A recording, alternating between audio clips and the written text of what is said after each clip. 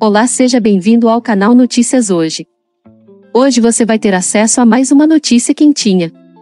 E quem ficar até o final do vídeo vai receber um presente. Ex-apresentadora fez acusação grande contra Celso Portioli e o chamou de babaca.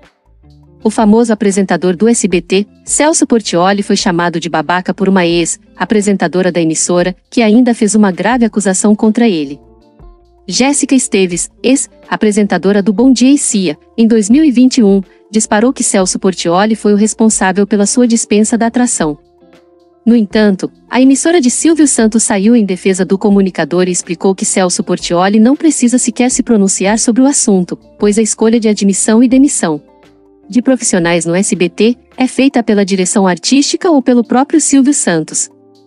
Tudo isso começou quando Jéssica Esteves, ex-apresentadora, disse que Portioli era babaca no jogo Verdade ou Mentira no Instagram e viralizou de forma rápida nas redes sociais. Foi aí que ela resolveu se explicar. Essa foi a notícia de hoje, espero que tenham gostado. Me diga aqui nos comentários de que cidade e estado você é, para eu saber até onde está chegando nossos vídeos. E agora, para você que ficou até aqui, vou te entregar o presente como prometido no início do vídeo. Para acessar basta clicar no primeiro link na descrição abaixo. Não se inscreveu ainda no canal? Aproveite para se inscrever e ative o sininho. Até mais!